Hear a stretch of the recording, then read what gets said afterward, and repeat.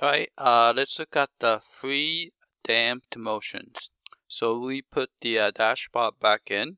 So the equation is uh, mx double prime plus cx prime plus kx is equal to 0.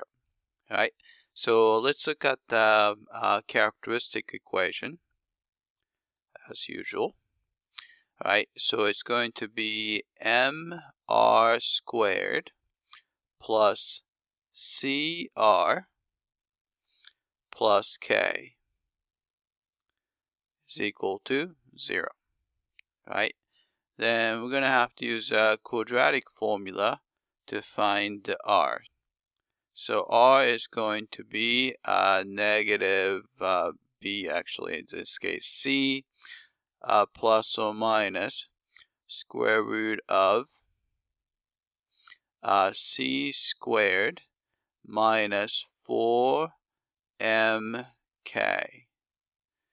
all over 2 times m. Right, so that's that. So depending on the um, uh, this guy right here, right, the value here,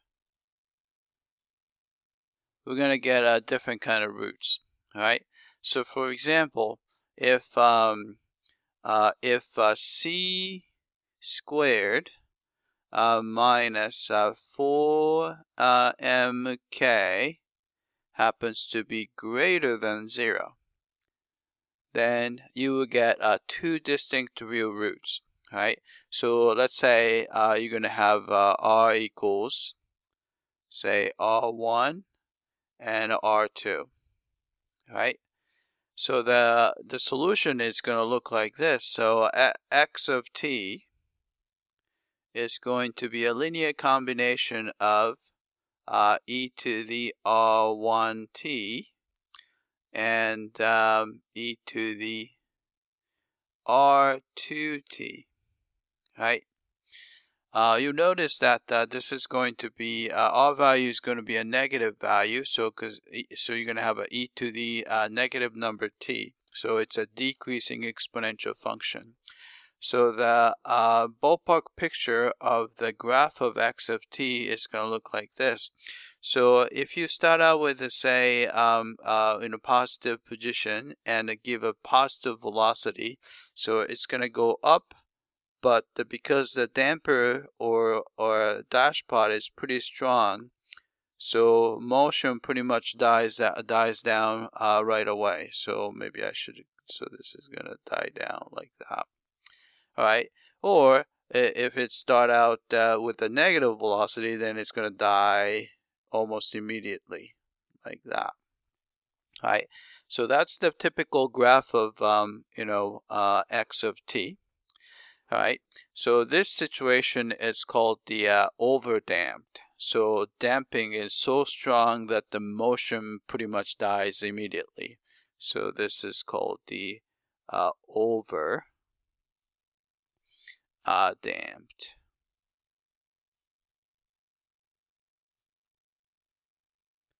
Alright, how about uh, this is uh, called the critical case, but uh, what happens if you have c squared minus 4mk happens to be exactly equal to 0, right?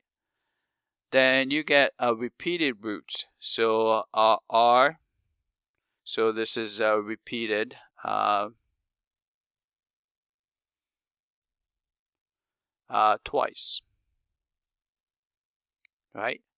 So we know that the solution is going to look like this. Uh, x of t is going to look like, right? Remember that it's going to be a plus uh, b times t e to the rt.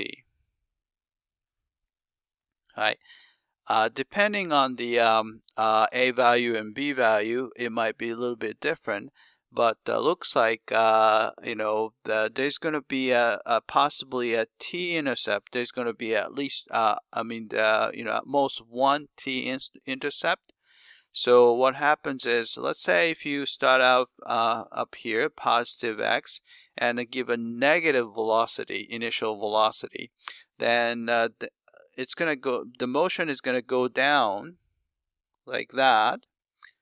But uh, because of the damper, it uh, passes through the t-axis. But uh, here, it's going to die down, but uh, never crosses the t-axis again, right?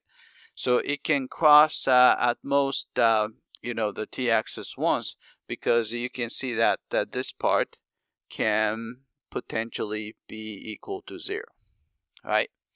But uh, probably if you give a, a positive velocity, so you, you push it that way, then it'll probably die down, right? Right. So this is called the critical, critically damped case.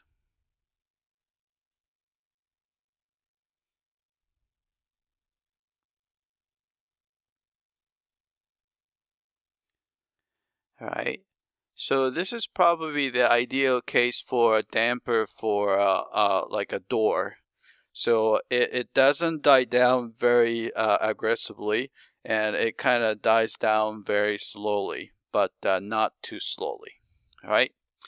And the last case is um, when uh, c squared minus 4mk happens to be negative, right? Then you see that uh, you're going to get the complex roots. So r is going to be, let's say, a plus or minus bi, right? then the solution is going to look like, so since you have a complex root, you're going to get uh, e to the ax. Then you have a cosine term, so I'm going to call it uh, a times cosine of uh, bt. And then you have uh, b times uh, sine of lowercase bt, right?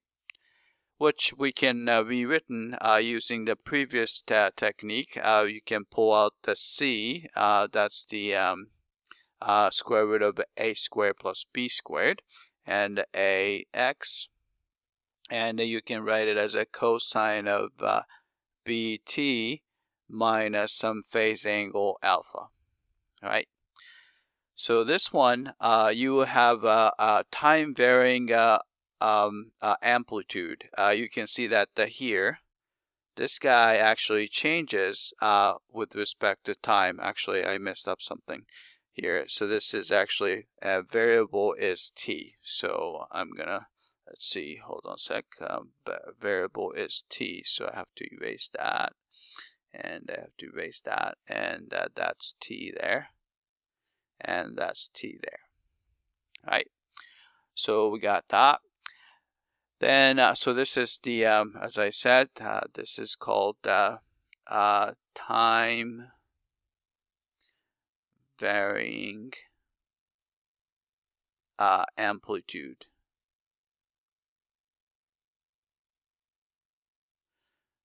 Right, since the amplitude is actually changing um, uh, over time, it's actually amplitude is decreasing.